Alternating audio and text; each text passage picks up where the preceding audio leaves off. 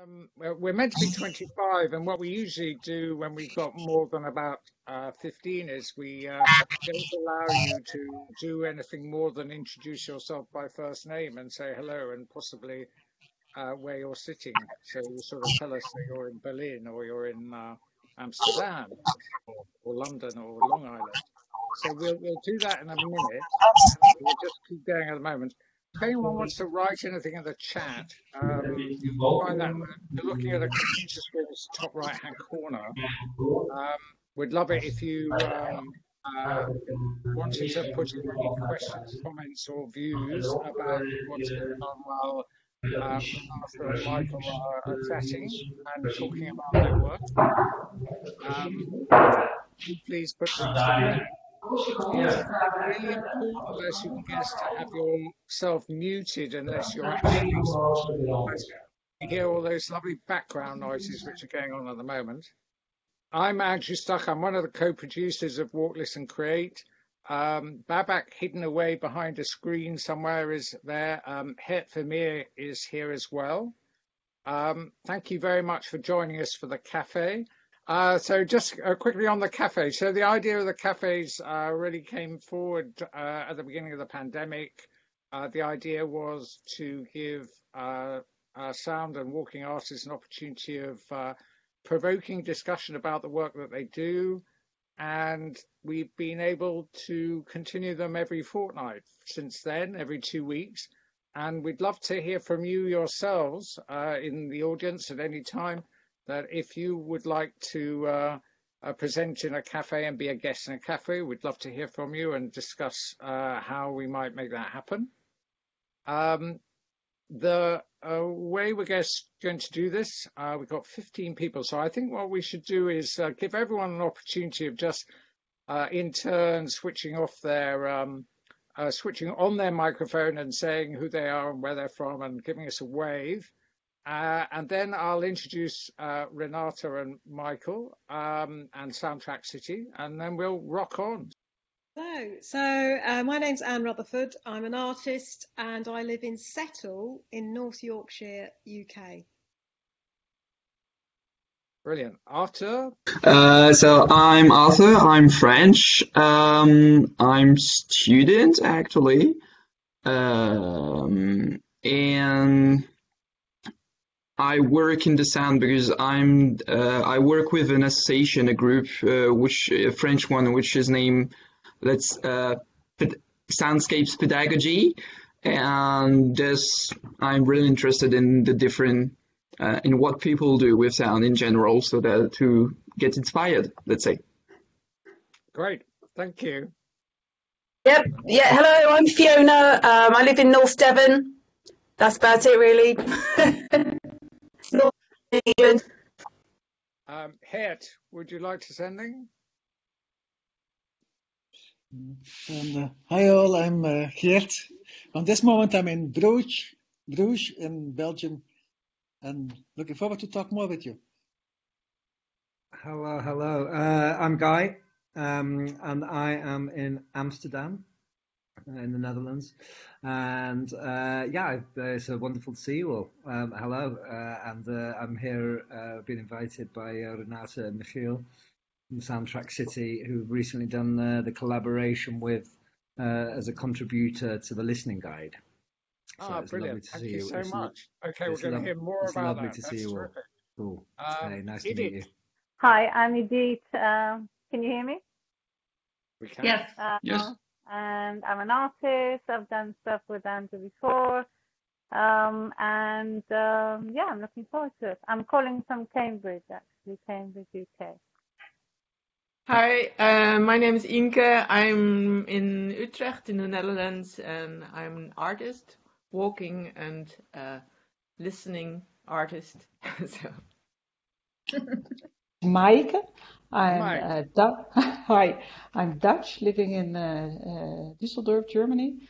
Um, at a later age, I started studying again, so I'm now a student visual anthropology. I'm uh, very interested in uh, learning what what you can do with sounds. That's why I'm here. Thank you. Great, Richard. Yeah, hi there. My name's Richard White. I'm uh, uh, a European citizen, but I'm stuck over in England. Um, and talking to you from Bath. Uh, Bob? Uh, Bob, the New Forest. Hi, I'm um, Sarah and I'm a poet from Kent in England. Hello, I'm Shelley and um, I live in Brighton in England and I'm interested in accessibility, especially for disabled users. Hi, I'm Viv. Um, I'm British but based in New York and I'm a walking sound artist. Okay, well, welcome everyone. And um, I'm, I'm going to read a little bit of introduction about Renate and uh, Michael, but I have to say straight up that I have been a fan of Soundtrackcity for several years and envy what they've achieved because uh, a lot of the stuff they do has uh, been right up the sort of avenues that I'm really interested in. So I'm, I'm looking forward to uh, hearing from them and, and not least because I think they've really cracked it with a listening guide for lockdown. And we're going to hear a little bit about um, how we can start to uh, listen to our surroundings more closely, even if the surroundings are literally the the apartment uh, in which we're we're living. So um, I'll just read you a little bit of blurb that they provided, um, which is about them, and um, then I'll hand over to them.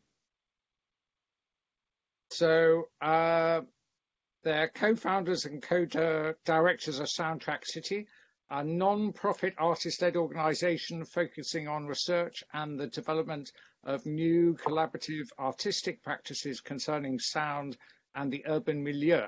Soundtrackcity develops new forms of media art and demonstrates new listening practices, initiates participatory research projects with local communities, and produces sound walks with and without headphones. Founded in 2009, Soundtrackcity is active in Amsterdam, Rotterdam, Istanbul, and Berlin. And the organization has developed from a cultural collective producing sound art in public space to a participatory and artistic research agency that focus, focuses on the social, political, and cultural aspects of sonic urban environments. At the moment, Soundtrackcity is involved in three research projects, each developed together with different communities and organizations. They are Sonic West, crowdsourcing Mr. Weisseplan, I hope, and Urban Sound Lab, but I'm sure we'll hear more. Over to Renate and Michael. Yeah, thank you for uh, for this introduction. and uh, I think yeah, we, we should focus uh, this cafe uh, on the on the listening guide because it's it's so rich and and made by uh, four well nice authors. So I think we we should talk very briefly about uh, Soundtrackcity itself. Yeah, as you said, we we we started in uh, 2009, and actually we are a, sort of uh, intruders in the field because uh, Renate is a theater director and I'm uh, originally a visual artist. So uh, we had to to do a lot of of uh, yeah study and and exploration ourselves in in this field of sound and listening before we we we felt we had a grasp on it. And uh, but we we had a head start in 2009 with a collection of of nine. Eight. Uh, eight. Yeah, you're right. Uh, eight uh, audio walks, and we tried to yeah sort of generate a, a, a portrait of a big city, of the city of Amsterdam. And we invited uh, eight couples of artists. Sometimes they, they didn't know or knew each other uh, beforehand and uh, asked them to make, uh, well, what we called then a sound walk, which is not literally, literally a sound walk, but more like an audio walk, because they, they were walked with headphones. Well, this was really nice, and uh, they're still um, available. Available, and still uh, you can still do them, and even this in these pandemic times, uh, that we uh, geo unlock them so people can do them on their couch, so sort of virtual walk. And uh, yeah, that it's nice to have such a sort of legacy of, of, of or a question of walks. And um, yeah, to to come to this this pandemic, it's it's really a, a strange time. Uh, almost a year ago, we, we were plunged into it, and we thought, well, a couple of months, and we the, we will we'll get this to get a grip. And uh, but now still we are in it, and it's even more severe. So um, I'm very happy that we managed to to make this listening guide, eh? homing inside out. Uh, the title is a little bit, yeah, uh, tongue in cheek. Yeah, you, you, you want to be home, but you also want to go out, and but sometimes you can't. And uh, well, we hope with the, the scores in the booklet, uh, you can, yeah, sort of go out or at least reach out to other living creatures, human or not human. Yeah, maybe I, I should uh, tell a little bit about how this came about, the, the listening guide. We were uh, zooming or, or, well, with other techniques with uh, a few other artists and uh, cultural workers uh, whom we never met in the flesh. It was very strange uh, to to do another uh, Soundwalk. art project. Yes. Yeah. Uh, actually, Guy, who is also partaking in this in this uh, cafe, he invited us to uh, because he has an inclusive um, yeah inclusive band in Amsterdam of uh, people who are uh, musicians but who used to live on the street and they know the city really from yeah being outside in the city. And he made a projection uh, slow down Amsterdam. But it was impossible during uh, the first lockdown to present this as a sound walk. So they came to us uh, if we could make a sound walk which you can just listen to while confined. And when we were discussing this project production, uh, somebody I don't remember who said, "Oh yeah, I know how it came about." Uh, we were telling them about a listening guide we made a few years ago, uh, where people can go to a very small park uh, in the middle of Amsterdam and do a listening walk uh, with points in the park where, where they should focus or, or have sort of ambience, ambient listening uh, experience. And this guide was also, you could also uh, return it with your impressions. And then during one of the Zoom calls, somebody said, isn't it a good idea to make this for people who are confined uh, to their homes? And at that moment, we we started, uh, yeah, planning this this little guide, which you all hopefully know, and uh, it was made possibly possible by uh, another art initiative, quite famous. It's called STEIM in Amsterdam. Maybe a lot of you know it. And uh, unfortunately, STEIM is now, uh, yeah, sort of gone, but the, the, their funding stopped. Unfortunately, stopped. But they funded uh, the the making of this of this guide. Yeah, this first listening guide we did in the park, it it had one sort of listening uh, position, sort of well Cagean perspective, like you you should listen to your uh, city as it is as if it is music. But we thought for being at home uh, to invite uh, a, a, few people from different uh, backgrounds. backgrounds. Yeah, and also generate uh, different scores, not only uh, listening as if as if it is uh, musical material, sound, but also sound as a way to get a connection uh, with with your environment or your world or your small world, or even uh, sound as a way of performing, like the the scores Guy would make made. Um, my idea is to uh, well to do two scores together with all of you.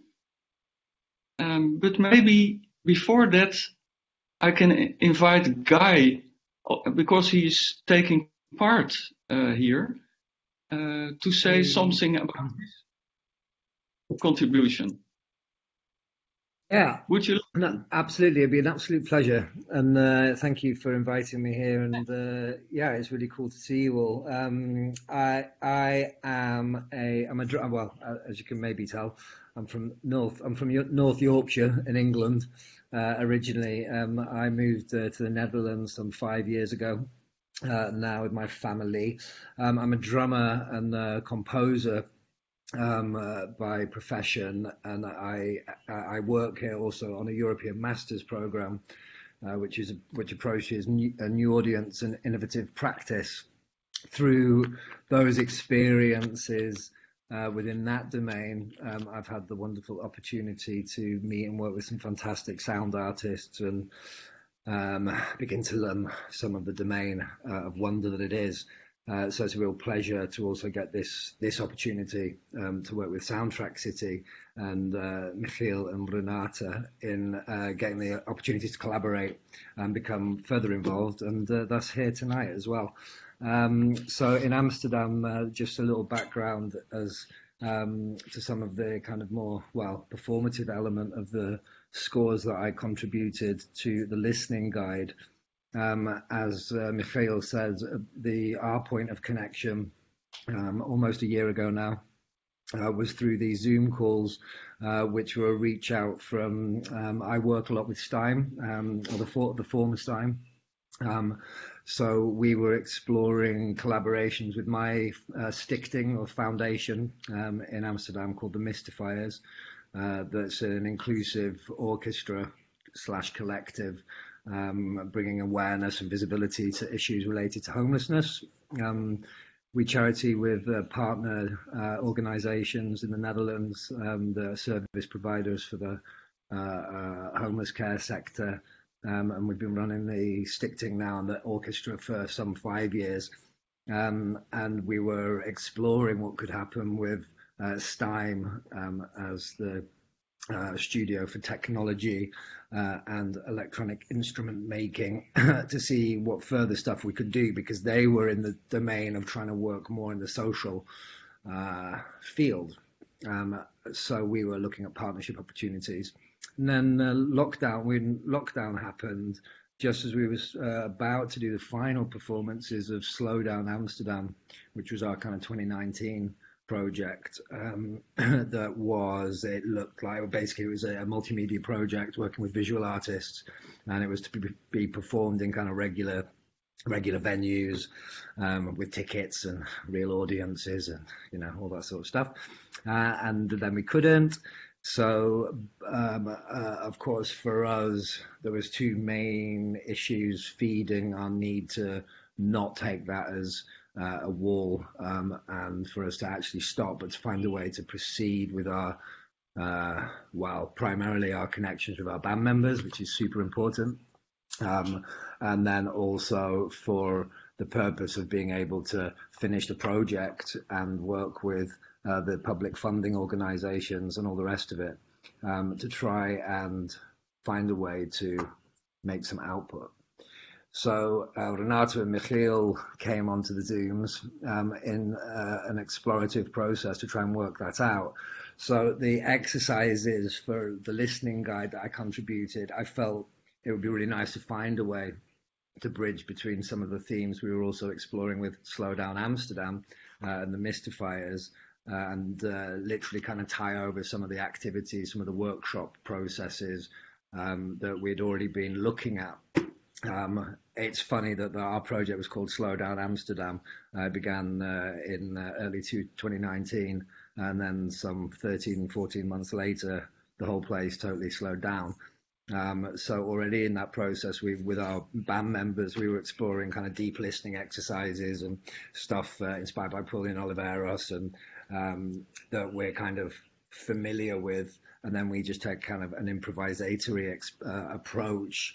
Um, I run that band with a great flautist called Micah Vanderlinde, um, who's a great workshop leader as well. So yeah, we just kind of have a lot of fun with exploring our own take, our own taste on um, maybe some processes that all you guys are really familiar with too. So yeah, it was also what I think I have to say. It was a real honor to get the chance to write this stuff down and make something in this. I've actually got it here. Mm-hmm. Um, into this beautiful physical pamphlet um, that's become also a real tool for our household uh, in this time. And uh, getting the pro the uh, opportunity to spend time in the process of thinking about what is relevant for us all, and also what would be re- relevant for many of the mystifiers uh, or, uh, or, or certainly their community, which during this time um, are very very isolated. So it was also kind of like, how can I add more material to their fun to bring some uh, connectivity. Um, some learning, some experiential happenings through the power of listening. So uh, yeah, I mean that's um, where we're at, and I think it's exciting to also say that we're exploring what's next. Uh, this was a great first journey, um, and certainly from uh, my behalf, I'm very much excited to uh, looking at the next step. Mm-hmm. Yeah, thank you, Guy.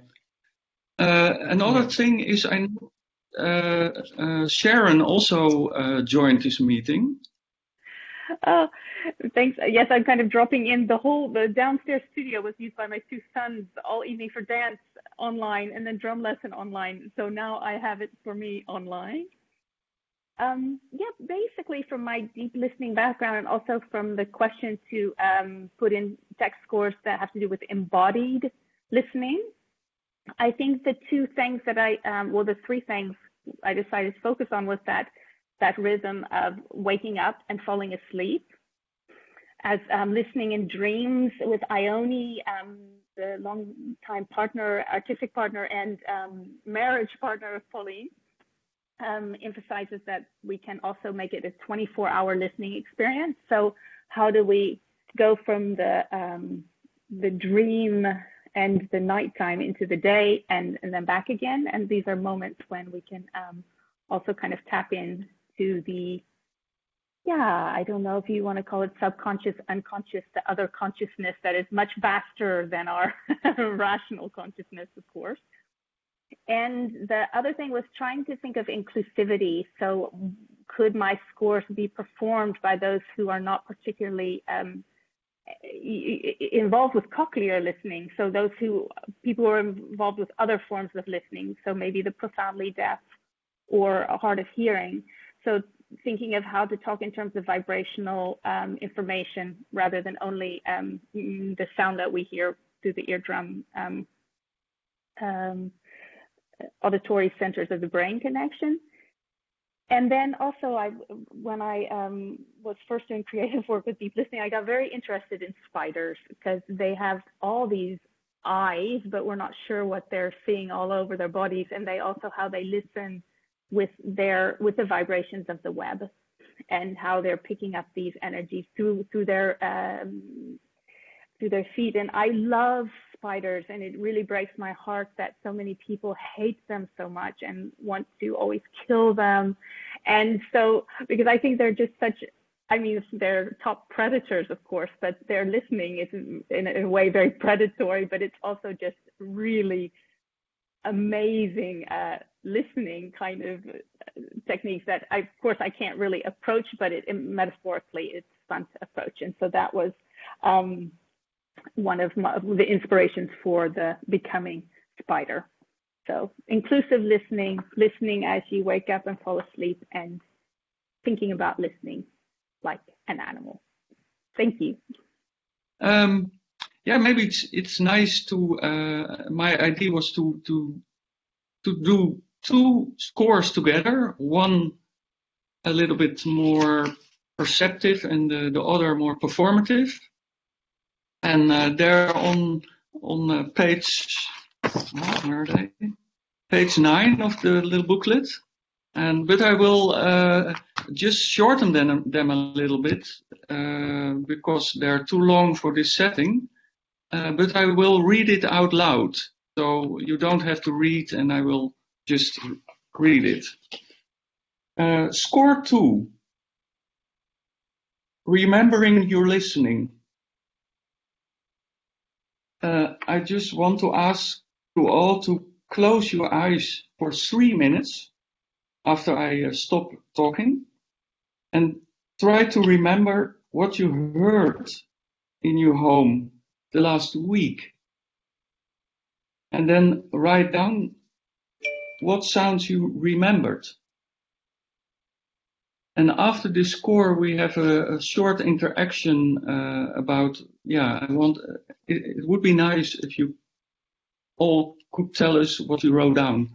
So let's start these three minutes now.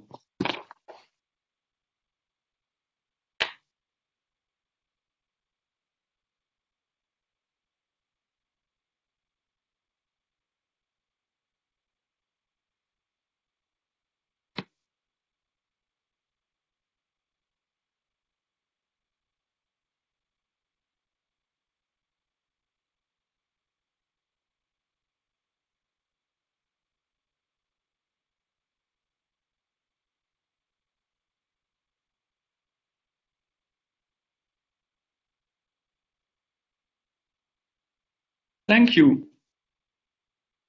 That felt like a very long period of time, three minutes. so uh, let's have one minute uh, to to write uh, down what you remembered from the last week. Well, Would you like people to write it in the chat? Uh, yeah, I can't see the the chat, but uh, whatever they like. Yeah, that's maybe a good thing. Yeah, very good.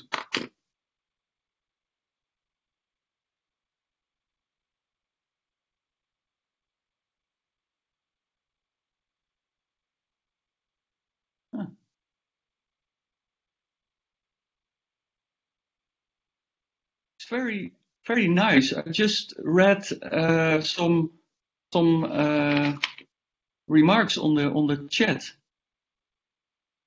For example, the sound of the big boats uh, on the on the Rhine appeals a lot to me. Maybe also to Renate. She's from Cologne. Um, yeah, but uh, to start, uh, I want to say something about uh, here in Amsterdam. Um, two days ago, we we got uh, for the first time since the Second World War in in in Holland a curfew.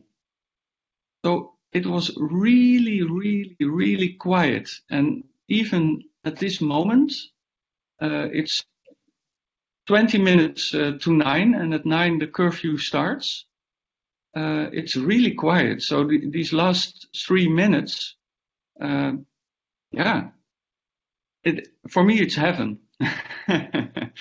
yeah, but uh, what I remember from the last week, um, yeah, it's the helicopter because there is so much going on. People are uh, really revolting.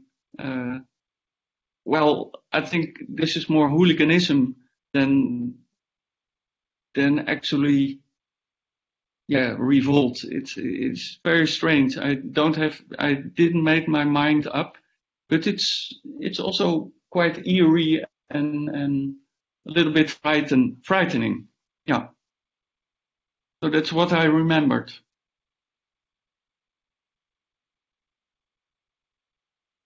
So it's really nice to to read through these other impressions from last week from all over the place. The kettle on the stove, a coffee machine, cutting onions, small birds in the garden, footsteps in the hallway, a vacuum cleaner, the voice of my baby granddaughter on the phone. Yeah.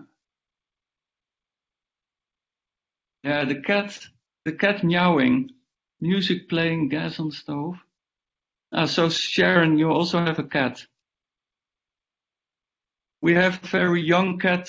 Uh, we got a very young cat recently, and this individual is exploring our little little home uh, as a madman.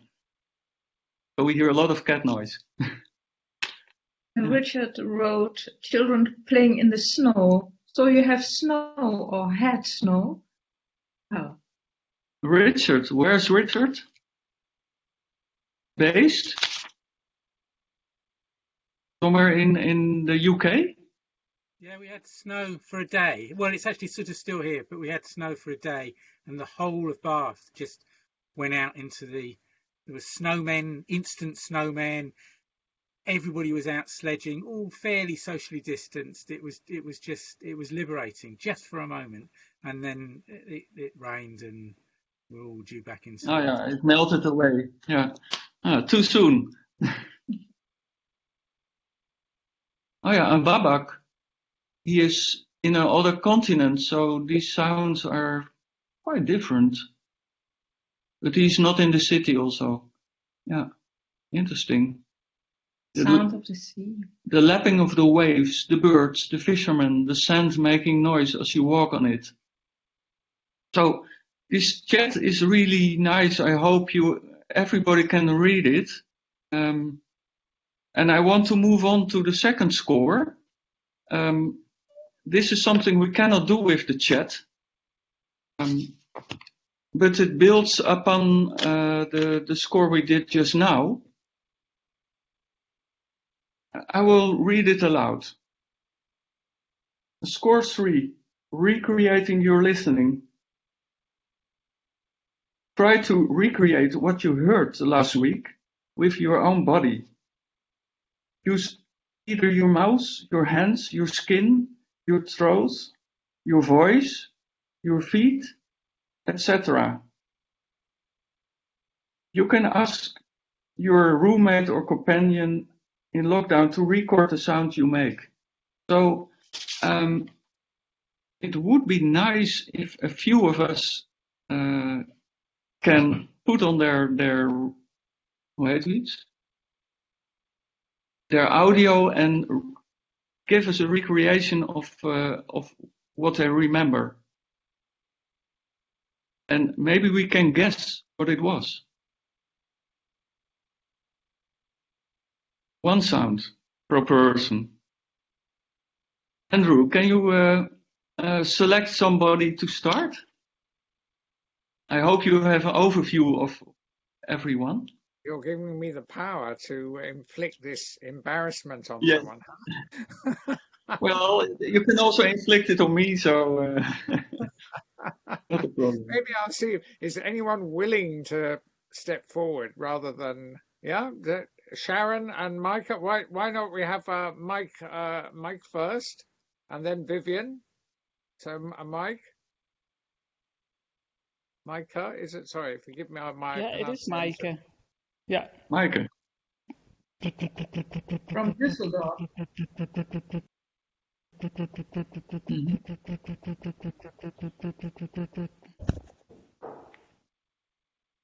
Very nice. Yeah, I, I, I know what you, what you Now were guess performing. first. Okay, I, I think it's a it's a it's a big ship uh, going upstream. Yes, having a hard time getting to Arnhem.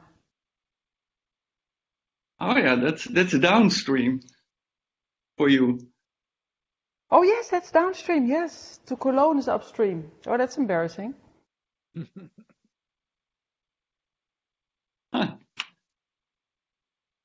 Okay, Very nice. you had your hand up next. Okay. Ah, ah, yeah, yeah, yeah. Ah.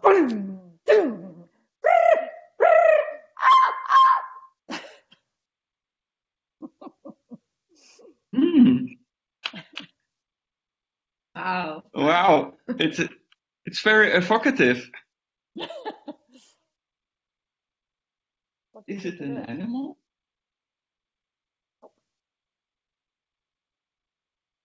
Yeah, I I think it's uh, it's a kind of tropical bird, but I don't know. I wish. Actually, it's um, it's me trying to be the construction sounds of the house being built next door. So there's a lot of roaring and high beeps and uh, Ah, yeah, yeah, yeah, drilling. playing. Yeah, drilling and digging and yeah, yeah. and throwing Yeah, this pipes as well. Growing stuff. Yeah, this Growing is stuff. something maybe all of us uh, are are enduring now in these times uh, more than than ever because it seems like a lot of people are thinking, what I, what shall I do with this free time? Yeah, let's rebuild my house. yeah. I I also saw uh, Bob. Did you put your hand up? And then Sharon?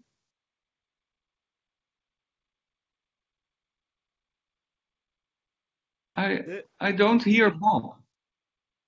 Well, it was the sound. I, I was making a sound of the silence of the forest, so it was quiet. Ah, yeah, not even this tree falling. No, there's occasional bird chirping, which is the cuckoo clock, but uh, I, I discluded the uh, dogs barking and the owners shouting at their dogs, which is basically noise pollution in the cars. And I tried to get to the the beauty of, of the space and its silence. Okay. Thank you, Bob. Okay, Sharon, now your turn. I'm sorry I've made you wait, Sharon. I've been practicing. It's a very quiet time.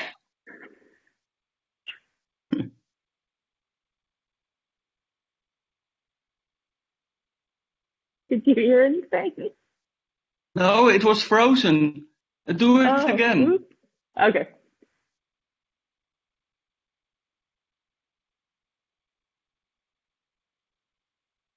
Did that work? Yeah, I think the the sound is so tiny. But you you are rubbing your hands. But it's not. The, the sound is supposed to be something else. but it's, Yeah, yeah. that was Understand?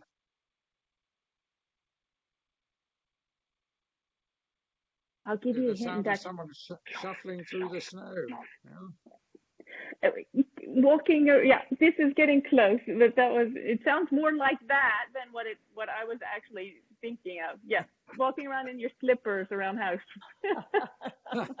Ah, yeah, yeah, yeah, yeah. Flip flops. yeah, kind of. Well, they yeah, your- you Nice. slipper. Are they your slippers or someone else's slippers? Uh, I usually find if I wear uh, my wife's slippers, I can't fit them on my feet, so they make more noise. Yeah, we had these huge slippers when from my partner when I go out in the yard, and then those are really like flop flop. Well, apart from all these interesting sound impressions, um, it is also, yeah, quite sometimes quite hard to recreate things you you remember to have heard, like uh, Rob uh, trying to recreate the silence of the wood woods. Um, but this this challenging of of your own sound making uh, apart from from just uh, language is I think very worthwhile. Don't you agree? Um, that you can also communicate not only with with uh, with language or, or written text, but but also with recreating the the, the sounds you heard and and yeah. So that I was trying to to yeah to to open this field sort of yeah Yeah, uh, Renate is now working on uh, a multi-year project called um, Urban Sound Lab. Urban Sound Lab.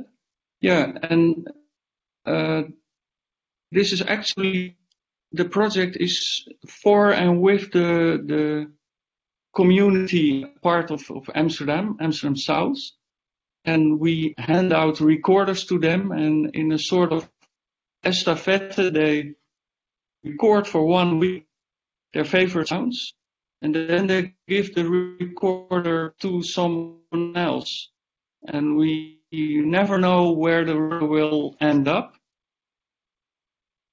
but um, it's a sort of method um, out of your bubble, sort of, as an art researcher, and to engage what else with sound. Well, we are um, we are, we are doing that project to um, sensibilize people uh, for for their listening for their listening and for the sound of their environment. Mhm. Um, and that is that uh, Urban Sound Lab uh, project. And uh, we are working with different communities in the south of Amsterdam uh, and um, are presenting our findings to um, um, artists and also to the neighborhood. Yeah. Yeah. Yeah, and the the idea is to um, yeah sounds or recordings they don't stand on on themselves, but people always have a sort of feeling connected to what they hear, and we are trying to to uh, to surface what they exactly feel themselves or or personally about the sounds they record. So they they can upload the sounds to a sound map. Uh, there are thousands of sound maps, of course, uh, in the world, but this sound map they have to uh, choose a, a certain emotion or a certain feeling and connect this with the sound. And when afterwards they can also communicate with other contributors by this feeling. So they can uh, click on this feeling and see, hey, uh, there are five very different sound impressions uploaded. I would never thought uh, the the other four to be connected to my feeling. So you you get a sort of uh, exchange about subjectivity and yeah how to yeah we hope also how to live together in a, in a dense city living. Hmm? Yeah. And we just started with that map. Yeah. And it's a, a special map for the people in the neighborhood. It's not for No, no, it's, it's not- everybody or it's the not- whole world. But it's not a uh, worldwide map.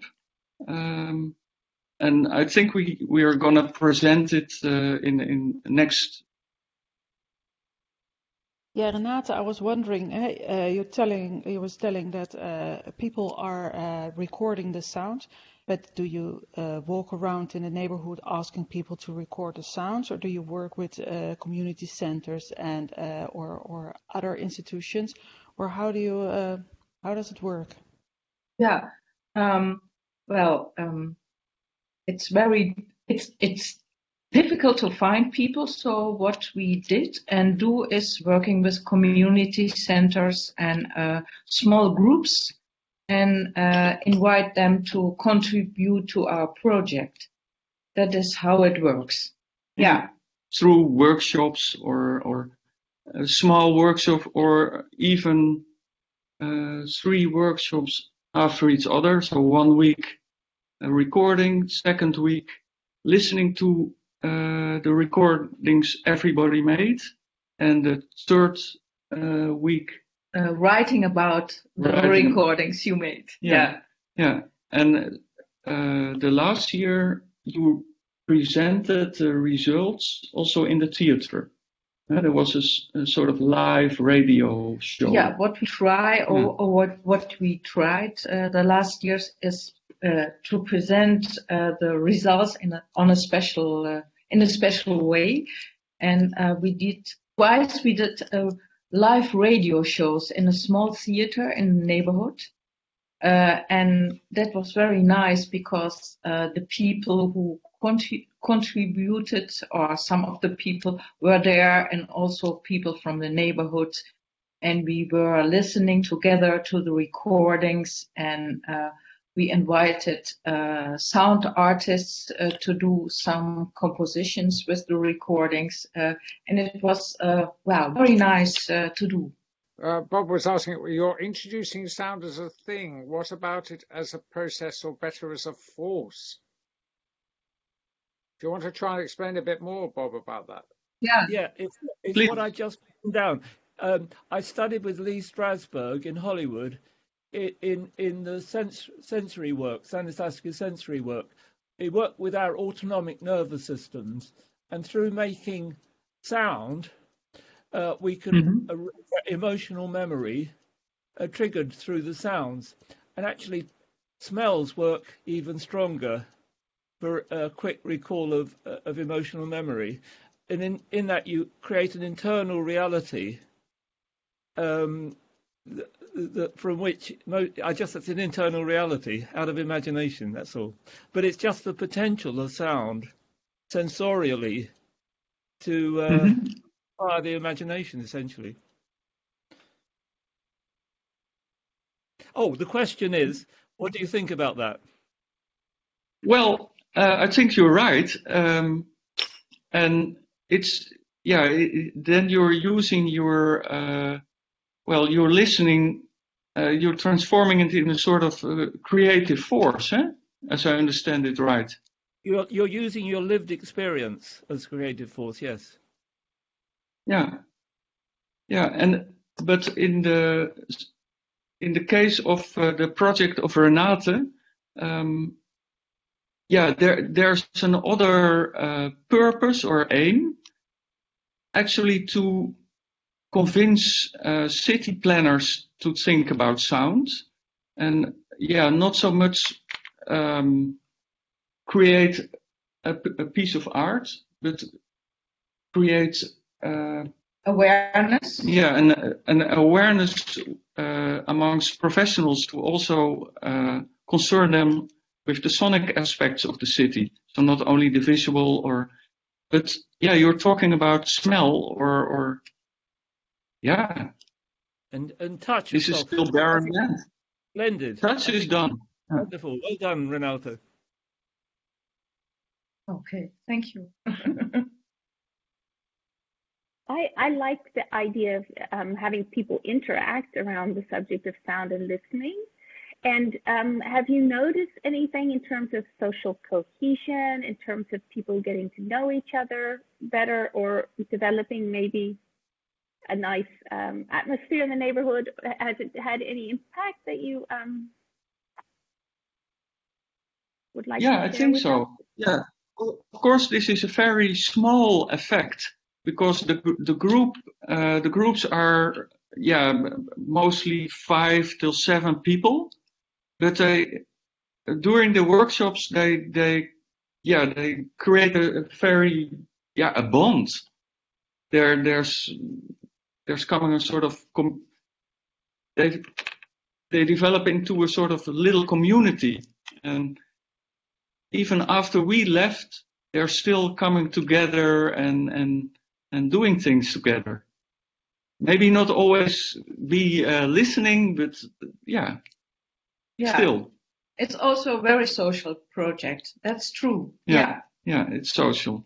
Yeah. Um, a bit of a follow up on that. Uh, I really like the sound of the workshops that you're running with people. Um, and I'm wondering if you could say a bit more about what happens in work, week three of the workshop when you said they write about the recordings. Do they do group writing or poetry or what, what kind of writing is that? Or are they writing Yeah. scores? No, no, poetry. Yeah? It was more. Yeah. um, Pam wrote uh, it. Uh, it depended on the sound they recorded, and uh, it was about the relation they had uh, or have with the sounds. Uh, and they were writing, they were free to write uh, whatever they want. Uh, so some wrote poetry and others wrote a small story, Mhm. different things. Yeah. But there was a theater writer uh, involved, huh?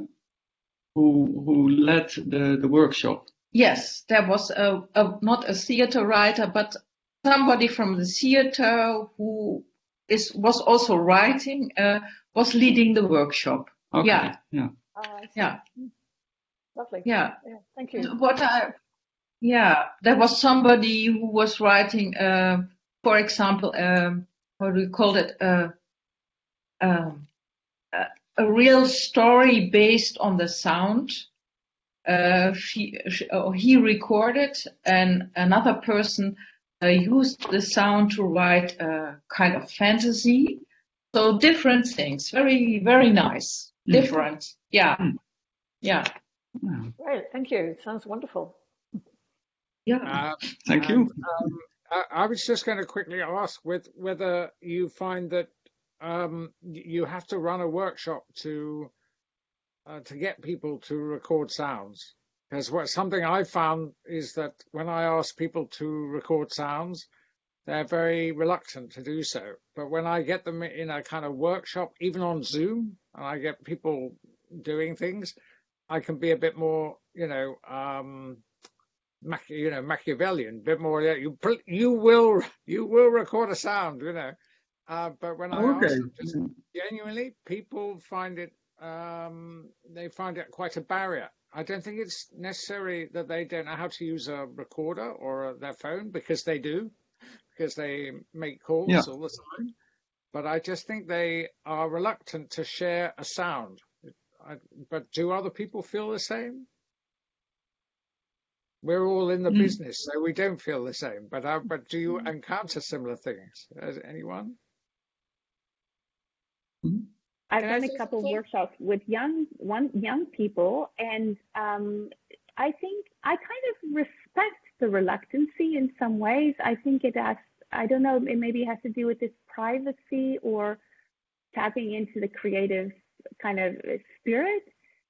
And in some ways, I also there's like an ethics of recording as well that I think is really um, beautiful. Like, do I have the right to extract this sound from this environment? I don't know if that's what's always playing up, but I've certainly had that. It's like okay, and also when you're recording on the street and you hear someone in Amsterdam speaking another language and you don't know what they're saying, but you've recorded them, you know, kind of like oh, I did, I haven't asked permission, these kind of things so and I do I think it is a, a strange a, a, what I call it a, a strange duck in the Netherlands, a vreemde eend, who loves to Mhm. just go out recording without any hesitation. I have noticed that. So um, yeah, I think it helps indeed to share it or know that it's going to be listened to or have a reason maybe to make a recording, because I think a lot of Yeah. people just don't really know why why am I doing this and just kind of to randomly do it and that I do respect that. Like, okay, you, you I, I think you should have some kind of intentionality. I- don't know if that's just me, but with recording, Yeah, that's that's that's our uh, experience also with the workshops. You you have to provide a sort of purpose and also sometimes uh, hoe heet dat? Een, een, dat een soort instruction, a sort of instruction uh, Or a question. question. Yeah. Yeah, yeah, a theme. Yeah. And Uh, then everything comes out. Yeah. Yeah. Last year we were looking for, you can't record it by the way, um, forgotten sounds or Oh yeah. sounds that are not existing or Anymore. anymore, Yeah. in the city. So we had a lot of uh, elder people. Um, talking about yeah sound as a heritage or or or sound who don't which don't exist anymore but then comes the the the power of imagination and and them telling how it's founded you never know if if you understand it rightly, they uh, tell you. Uh, the, I love the idea that you try to make a map that is global and local at the same time. So I have the impression that uh, your interest in the local uh, the, is is making you um, is making your work as well uh, unique. Uh, so could you tell something more about how the um, how this interaction with the people, local people, is going when you talk with them about sounds and the sounds of their neighborhood, um, and specifically how this is a means of communication. You always, you already talked about uh, the um, that sounds is going beyond the possibilities of language, and I suppose that's where you live uh, in Amsterdam. Uh, it's a very multicultural uh, environment, and do you? Mm-hmm um, the, the, are you able to uh, to get reactions, collaborations uh, with uh, people from different cultures by using this way of going beyond the the language? Um, and Ja. Oh, not yet, hè? Nou ja, misschien wel met uh, Slowdown Amsterdam. Ah, ja, ja. That was very nice. Uh, well, Guy left, but uh, could uh, tell you a lot about uh, um, people from other cultures because uh, he was working. Uh, the mystifiers are working with homeless people or former homeless people, and a lot of them are from different cultures for example, Suriname and uh, Niger Africa, Nigeria. Nigeria, and uh, well, we uh, we only yeah we got a glimpse of uh, yeah their sound experiences, eh? and it was well short but uh, very interesting. Mhm. Yeah, yeah. Yeah. and um, other cultures, yeah, we had uh, to start with them. We didn't do that yet. Not Yeah. re- uh, yeah, a little bit, but not um, Not as a focus as point. a focus point. Yes, yeah, Yeah, we we had uh, a little collaboration with uh, a female researcher from the UvA, and she was doing a study uh, into the appreciation of of different languages you hear on the street, and if you then uh, feel at home or not. And she found out uh, people living in the middle of Amsterdam, they felt alienated because everybody in the streets is talking English. Uh, yeah, mostly tourists. And nowadays this is completely changed because there there is no or hardly any tourism. So suddenly uh, people uh, they see, oh, are you living here? Uh, and uh, pointing at each other and, and yeah, finding out who actually lives in this quarter. yeah. But a very interesting uh, study. Yeah. but she was working in the Also in the in New West in New West in the what is it suburbs. suburbs. Yeah. yeah. Very interesting study. Yeah, yeah. Oh yeah, Andrew just wrote in the chat. London is now for Londoners. Uh, yeah, this ri- rings a bell. Uh, Renate is now making a podcast. It's yet to be published, and it's about the the sonic experiences of Amsterdammers in the in the first weeks of the lockdown. And a lot of people were saying, um, Amsterdam, uh, Amsterdam is now for the Amsterdammers. yeah, and yeah, I and really hate it. yeah, I find I found it a little bit problematic. Uh, uh, yeah, to to to say it like this. Yeah, because Amsterdam is not only for Amsterdammers. we, we Yeah, this was a sort of freestyle answer to your question. Uh, I hope uh, you like it, Geert. Yes, uh, absolutely. It is. Uh, Andrew, would you like to elaborate a bit on your? Um, um, yeah, I was. I was just going to say, in the first lockdown, uh, when there was considerably fewer cars on the road, uh, far fewer uh, vehicles on the road, um, uh, and we were very much restricted, or at least we may not have been as restricted as we are now, but we were more obedient uh, and kept mm-hmm. to uh, the restrictions. Um, we we were only out, allowed to walk for an hour. So what you discovered was that all the people who walked in your neighbourhood were your neighbours.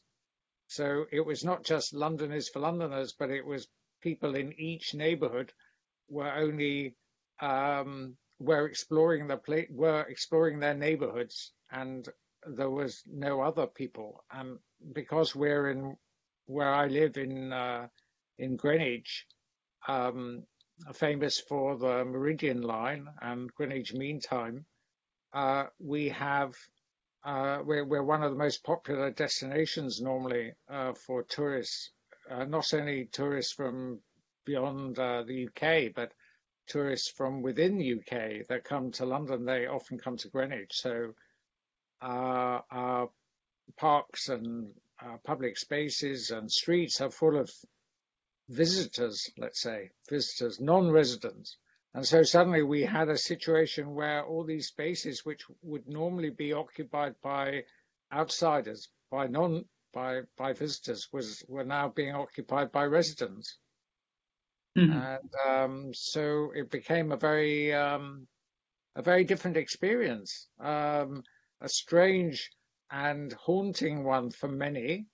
Uh, but for some of us who spend our lives on foot uh, anyway and walk around our neighborhoods all the time, um, it was it was almost comforting. Almost. you don't want to see all your neighbors, I can assure you. yeah. yeah. maybe this is uh, yeah kind of universal uh, for city life uh, during COVID-19. If you are allowed to, to, to go out, that is.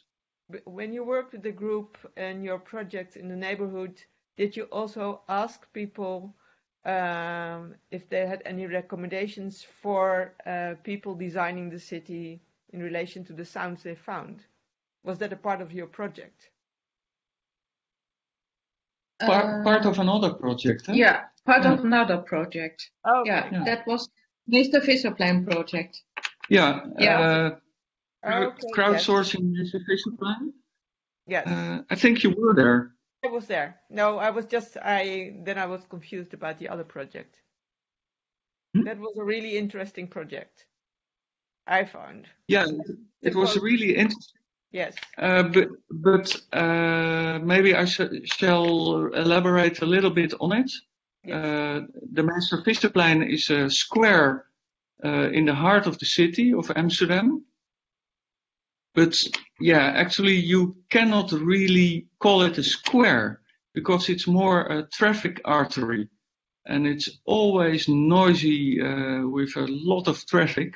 And especially when the, the ring around uh, Amsterdam is a little bit slow, uh, the, the navigators in the cars will point to this, this sort of shortcut through the city. So all the cars go through uh, through the square, and we did a research with 20 uh, neighbors, neighbor, uh, 20 people from the neighborhood, either working there or living there or visiting, and uh, we asked them how could we redesign this place that it becomes livable or at least bearable to be there. Because the municipality, they designed uh, the place as a sort of place to stay. So there were seatings, there were uh, olive little olive trees in, in big pots. A lot of money was, was put into this, but nobody was using it. And yeah, we thought this is a, a, a, good example of how city planning works most of the time a lot of attention to the function or the, the looks and less to yeah how how it feels or how it sounds how it smells uh, and these things are more yeah more important than than they than they than they realize. So we thought uh, to to do this project to bring this on the agenda of the municipality of amsterdam. And shortly it was a sort of blip on their minds but i think it vanished very quickly again. So it's it's not a success uh, story, but at least we we made a few uh, redesigns of the uh, with these people for for the square, but they're not executed. Uh, th this might be a time for Bob to come in with his question because he you've asked something, Bob, about integrating the country into the city. Do you want to expand on that? Yeah. Is there any way that the silence of the countryside could be introduced into the the noise the noiseness of the city to to balance it out? Is there a way of well, bringing one environment into another? Yeah, I, I think uh, there are many ways, uh, but first, yeah, you you have to uh, realize that it's not so much about silence or or too much noise, but about uh, uh, interesting yeah experiences. So a, noisy place can also be quite interesting. There there has to be yeah in the, in most cities there's a sort of fog a sort of auditive fog. So you cannot orient yourself because there the sound is everywhere and everywhere the sound is sort of the same. Um, but now we can experience that also in the city it is possible to have another sound, yeah, or soundscape as some people call it, uh, when because the traffic is diminished or or even gone. So suddenly you can hear further, you hear other sounds, you hear subtle sounds, you hear your own footsteps, you can talk with your companions. These are very valuable things. So it's not much about um, silence. Yeah, silence, but about balance. Yeah, balance or differences. So you you have to have uh, different milieus in a walkable distance. That's my little theory. Yeah, but there's also it throws it open to politicians who legislate against rules. But basically, why can't we legislate uh, to promote sounds? Or why can't politicians take on that, i.e., the, the the sound, you know, the, how cities are at the present because of COVID, and how you can hear things rather than this wall of sound or this buzz of sound behind, which is the city. Because I grew up in the city in London, and I've moved down to the countryside, and it's just a way of integrating. Why can't you expand it beyond walking artists to politicians and other groups that, that, that can legislate? Well, firstly, you've got to raise consciousness that sound is everything before it's anything. Sound is the most basic of all our senses, and it more than anything, it describes what we are in the now. And, um, you know, getting politicians to be, or people who legislate and other groups of people to be uh, uh, aware of these things. It's just a, a consciousness raising exercise that you're initiating. And I, I, I, I, I, I think it's fantastic. Uh, Sharon, you, yeah. you, you pitch in straight away. Yeah? yeah. There's um, Antonella Radicchi from Berlin. She has been editing Sound and the Healthy City. It's on Taylor Francis, and I um, participated in writing the editorial for that, which um, my, my little part was about sound art in relationship to the healthy city. The problem is there is recently within the European Union, um, they have been now talking about noise pollution, especially the health, the noise pollution with health aspects in the kind of getting the same way as they've been talking about air pollution for a long time. The problem is, of course, coming up with standards that talk about sound because sound is so subjective. so when you're just talking about in terms of decibels, you know, like when you're talking about the masking of cars, that's clearly something that masks the um, the more delicate and finer sounds. So that's fine. You could say that's bad, but there are some loud sounds of cities that are very very popular and maybe like the sound marks or the you know the keynotes for that for that city. So that's where you really come into problems with uh, regulating sound because uh, decibels it, cannot be mapped onto the subjective enjoyment or non-enjoyment of sounds.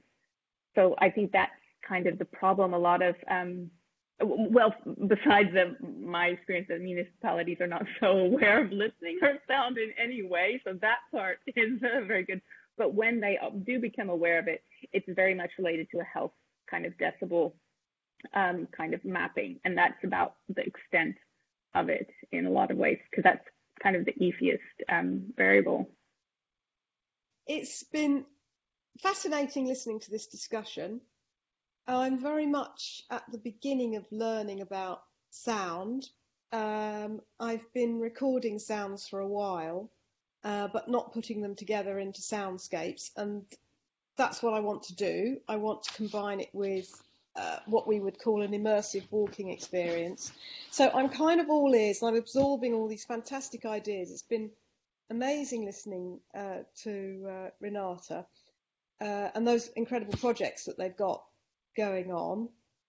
Um, I, my, I suppose the I live in an incredibly rural area, and I do think that I have different problems trying to engage with communities in a rural space as to as, as to artists do in an urban space. There's a lot less people for a start, and um, mm-hmm.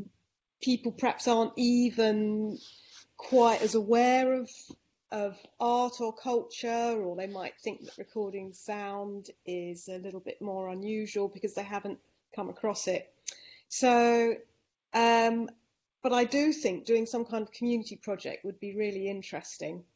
Um, there's more sheep than people here in North Yorkshire, so there's a lot of noisy sheep. But okay. it's fascinating to think how I could use the sounds, and I think as well the comment about heritage of sound was really interesting because we do have industry here. We have quarrying, and we have we are surrounded by small quarries, and that's something when you think people would have been hand cutting stone out of the hillsides round here and using horses and carts to carry stones great distances to build everything that's round here. There's so many things that you could try and find from the past to sort of explain why the countryside looks like it does now. Um, I think and you can do it uh, also in your neighborhood, although you are not in the city, because, um, well, what you uh, just suggested is a very good idea, I think, uh, to talk with people about the sounds from uh, the, the, quarries or how yeah. it came about uh, the, the landscape. Yeah, very interesting, I think. Yeah, yeah. Yes, the link between the landscape and the sounds that there would have been here. Mm-hmm. It would have been much noisier than it is now. Yeah, absolutely. Yeah. Yeah, this is also a misconception about the city.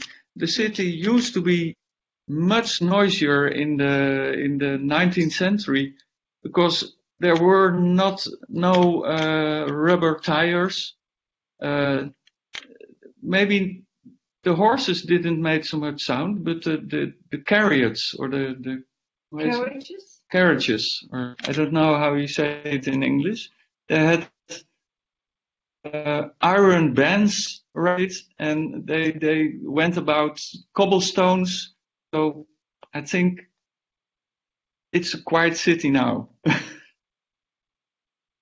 yeah, I think so. But I I, I agree that uh, yeah, for me as a, as a city uh, inhabitant, I yeah I deplore that there are so many cars inside the city. It maybe it's not even the noise, but uh, from from from your childhood on, you have the feeling you cannot be on the road or play. Uh, there's always this danger. That the the feeling of danger, this colors the sound of the tires or the the the, the cars. I think subconsciously, at least. Uh, well, I think that's an interesting point because uh, in the UK we always look to Amsterdam as being a quieter city, and we also look to the the Woonerf as the Dutch invention for a play street. So uh, I have to say that um, perhaps we uh, should be looking further afield because you guys think you live in a noisy city. We think you live in a quiet one. yeah, it's it's what you're used to, and uh, you aim higher. the bicycles are also very loud. uh, maybe I can ask, what are you going to do next?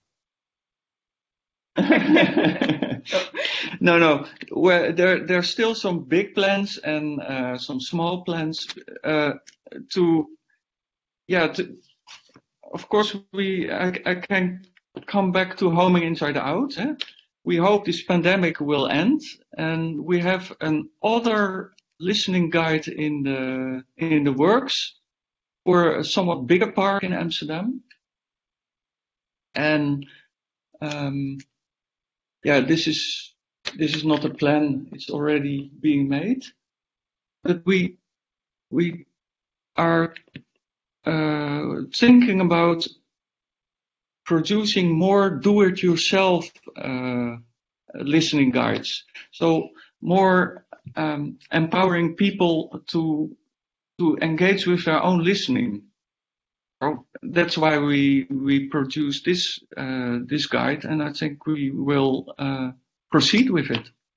Yeah, and another uh, strand is that we really want to convince uh, politicians and planners to develop an, an methodology which, which incorporates uh, listening or at least design, have an, a clue how your uh, your building of the city can can uh, sound.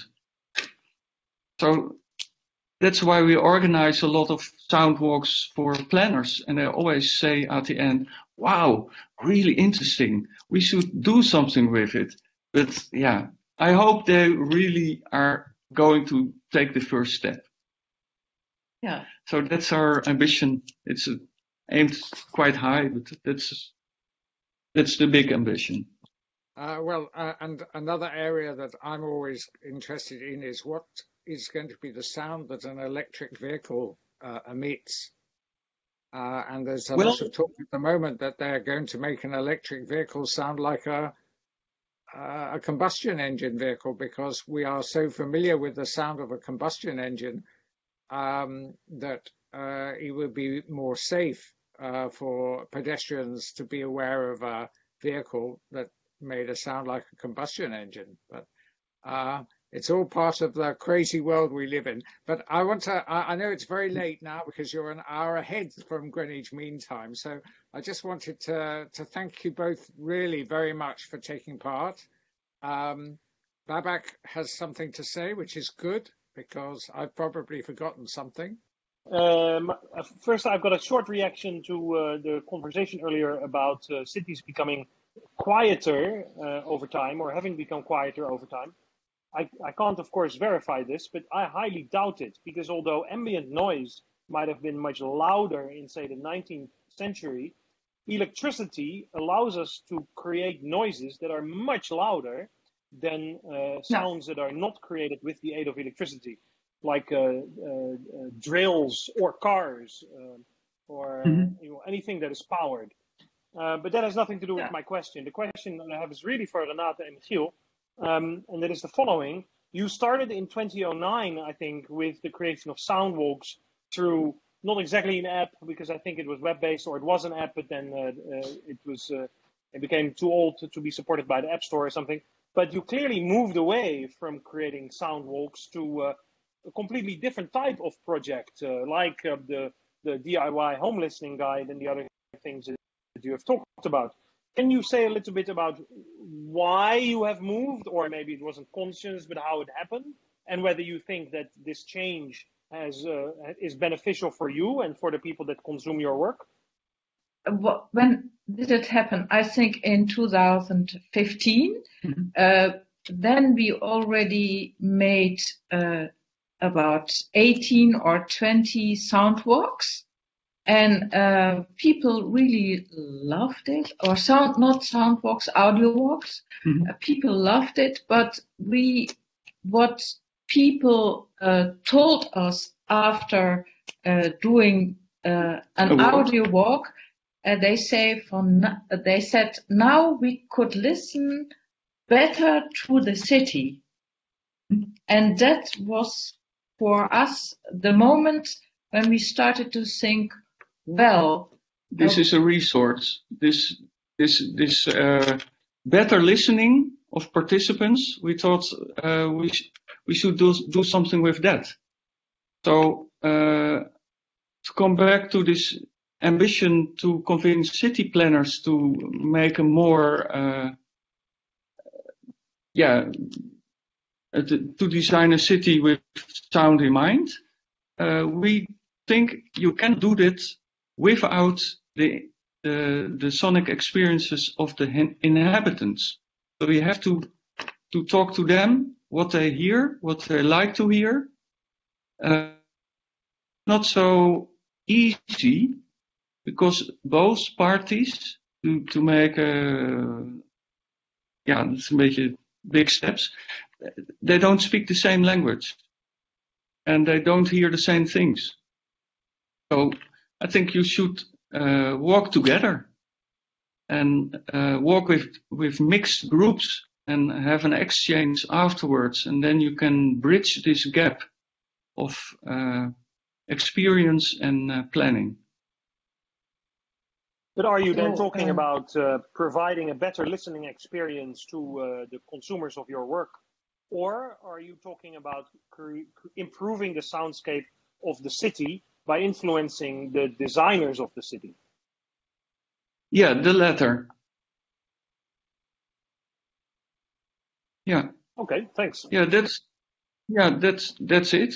So we started as a sort of uh, of yeah, sort of artist producers, and now we are more yeah community researchers or researchers with the community into sound, into the sounding city. With the ambition then I think to. Follow-up question. Oh, sorry. Mm -hmm. With the ambition, yeah, go on. Yeah, go on. Yeah, with the ambition to to uh, change this uh, sonic aspect for the better. Okay, uh, I think this is great, and I think that although we have dwindled in numbers, I think a lot of us uh, pursue uh, or try like to pursue similar goals. Um, but now my next question is, how do you get paid? Yeah, yeah, that's. Uh, we can talk another hour about that, but uh, to a be. Day. yeah. uh, that's a, well, that's really hard, but maybe the rest of the audience has similar experience uh, because yeah, we are from the arts, and uh, in Holland the arts are not so well. Uh, het worden niet zo gewaardeerd zeg maar. Yeah. It's a hobby of the left, so, according to some politicians. Hmm? Yeah, yeah, yeah, yeah, yeah. Yeah. So, yeah, we we should be constantly applying for funding, but that's really a bore. So sometimes we just do things and and we do it on a shoestring because we just want to do it. Yeah, that's a, that's the story. And sometimes we take other jobs. It's uh, yeah, it's not ideal. yeah. Um, uh, however, I want you to end on a positive note, not on a down downtrodden note. So. Uh, but we are happy. We are poor but happy. Poor but happy. And also, Renate, she got uh, a four-year funding for Urban Sound Lab. Yes. Starting this January. Not much, not much. Yeah, but it, it's a start. It's a start. Yes, yes. So that's very positive. Yeah. Yeah. Good. Yeah. That's what I want. And I, I want we are every to end on a positive. And uh, for the whole community, we are aware that people are much more interested in sound and listening than a couple of years ago. That's true. So that is Yeah. very positive for all of us. Yeah. Great. Well, okay. Well, I'd like to just um, say thank you very much, Renate and, and and Michael, and for sharing your uh, stories, your experiences, and um, uh, keep going because I love Soundtrackcity, and uh, I'm really looking forward to another ten years. So uh, um, I really Oh. hope it goes on and becomes a success. And thanks Okay. everyone for staying the the distance and we'd love to see you again. Um, as I say, every fortnight we're putting on a uh, an, another cafe, and if you feel bold and you'd like to try and be the guest at a cafe, we'd love to hear from you. But in the meantime, everyone stay safe. Bye. Yeah. Thank you, Thank you very uh, much. And thank you all for uh, Yeah. Thank you. Thank nice you. interaction. Yeah.